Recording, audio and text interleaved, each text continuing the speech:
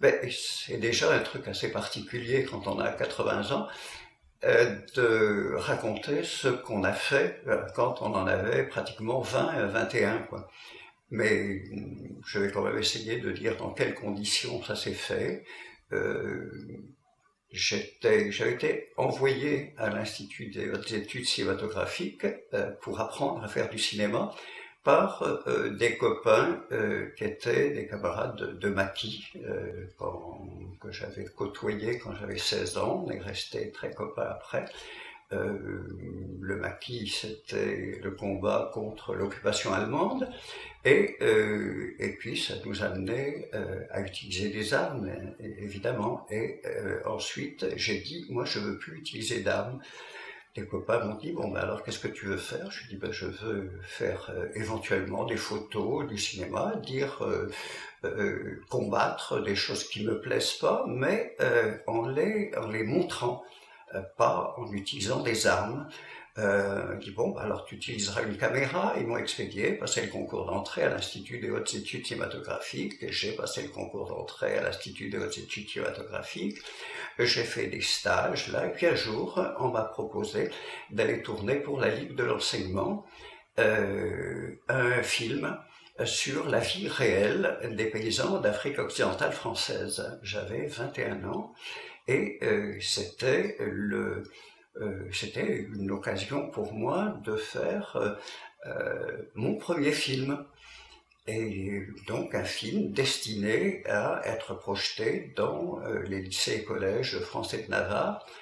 Je suis parti avec tout un groupe de jeunes qui étaient chargés dans leur spécialité. Il y avait des gars des beaux-arts, il y avait des géographes, il y avait des historiens, chacun était chargé de faire un rapport sur euh, la vie réelle euh, des paysans euh, d'Afrique occidentale française pour une exposition. Et moi, j'étais chargé de faire le film. Bon, mais j'avais toute liberté pour le faire. Et euh, j'ai commencé à tourner là-bas sans avoir d'idée préconçue sur le colonialisme. Je ne savais pas trop ce que c'était. Euh, la vocation colonisatrice de la France, c'est ce qu'on m'avait appris euh, à l'école. bon. Et puis, moi, je disais, je filmerai ce que je vois, ce que je sais, ce qui est vrai. Et puis, j'en suis venu à ça. Et j'ai eu beaucoup de problèmes sur place parce qu'on m'a sorti dès le départ un décret euh, des policiers qui sont venus me voir, des policiers blancs, et euh, qui m'ont dit voilà, on n'a pas l'impression que vous filmez ce que vous devez filmer. Parce que euh, il y a une loi euh, qui euh, exige ici euh, que, à travers toute l'Afrique occidentale française, on ne tourne qu'à partir d'un scénario préétabli et en présence d'un représentant de l'autorité. Dis, bon, ben, ça date de quand On m'a dit, ça date de 1934, c'est signé d'un ministre de l'époque qui euh, s'appelait Pierre Laval, ministre des colonies, en 1934. Euh, on était en 1950, entre-temps, euh, Pierre Laval euh, avait été fusillé euh, pour sa collaboration avec les Allemands, pour euh, les mesures qu'il avait prises contre les libertés en France et en France occupée. Et moi, on m'avait donné la croix de guerre parce que je m'étais battu, quand j'avais donc 16 ans, contre Pierre Laval et le gouvernement de l'époque, le gouvernement du maréchal Pétain. Je m'étais donc battu pour la liberté et euh, là, euh, j'ai dit je refuse d'appliquer un décret Pierre Laval ou de me plier à un décret Pierre Laval. Je vais tourner ce pourquoi on m'a envoyé. Euh, la Ligue de l'enseignement m'a demandé de ramener des images sur la vie réelle des paysans d'Afrique occidentale française. J'ai commencé à tourner.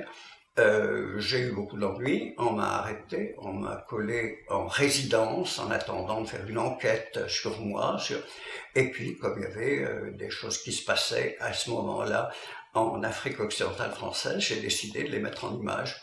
Euh, ça a assez rapidement euh, mal tourné. On m'a recherché pour euh, m'expulser, pour et j'étais, je suis tombé sur des choses que j'ai mises en boîte et, et c'était une répression de tous les mouvements africains qui se battaient qui commençaient à se battre pour l'indépendance des différents pays d'Afrique qui composaient à l'époque l'Afrique occidentale française et qui luttaient donc pour arriver à une émancipation qui était prévue, c'est vrai, dans les textes de l'époque, on disait euh, la France euh, s'engage à euh, laisser les pays s'orienter vers les voies de l'indépendance de progressivement les pays de l'Union française.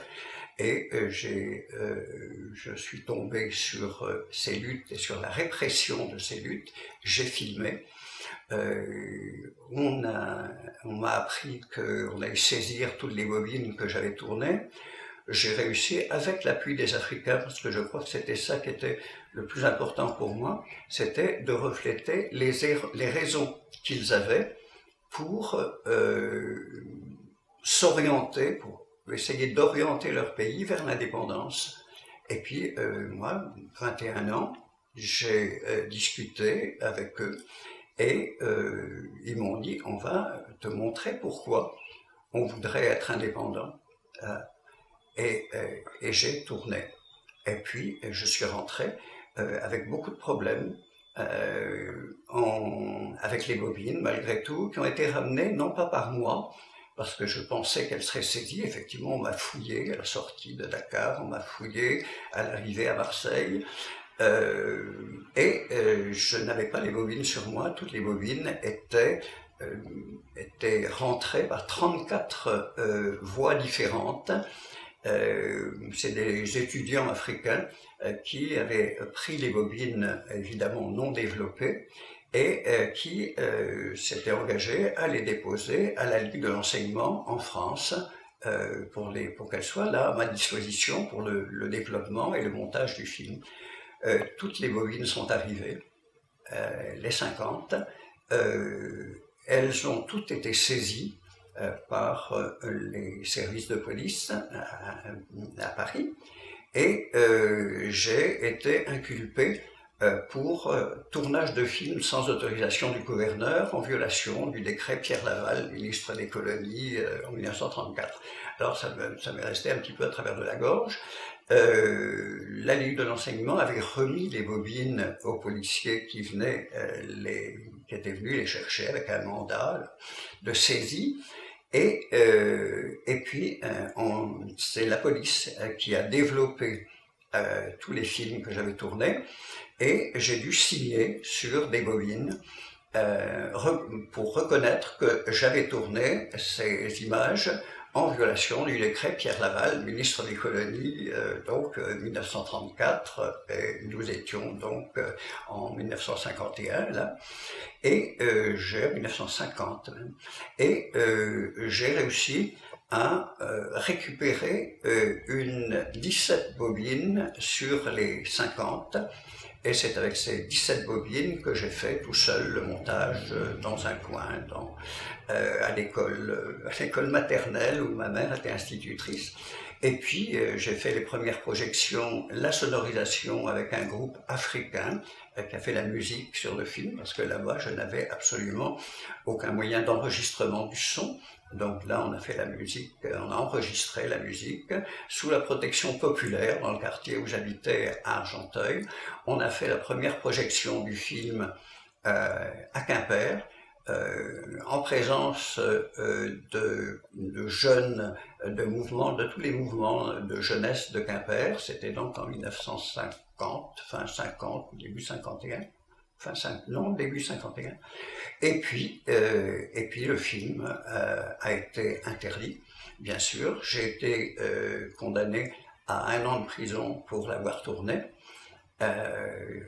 et, et puis, j'ai quand même assuré la diffusion du film avec l'appui d'un certain nombre de mouvements de jeunes de différentes tendances, aller des éclaireurs de France aux à l'UJRF, l'Union des jeunesses républicaines, euh, c'était l'équivalent des jeunesses communistes, avec euh, des jeunesses socialistes, avec des mouvements des auberges de jeunesse. Enfin, on a tiré, on a réussi à tirer 12 copies du, du film dans des laboratoires, dans un laboratoire français, euh, dans des conditions un petit peu particulières. Les gars qui travaillaient de nuit au laboratoire accrochaient euh, le négatif de ce que j'avais, de, le contre-type de ce que j'avais tourné, et euh, derrière des films pornographiques, en sachant que là, mon Dieu, il y avait des arrangements avec les policiers qui surveillaient ce qui se faisait à l'époque dans les laboratoires.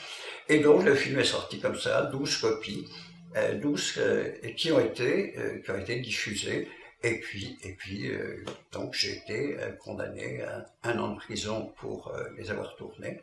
Et j'ai été arrêté en 1950, fin 1955, quatre ans après. Et on a décidé que j'avais encore le droit de faire appel. Et mon avocat a fait appel et le film continuait à être diffusé partout.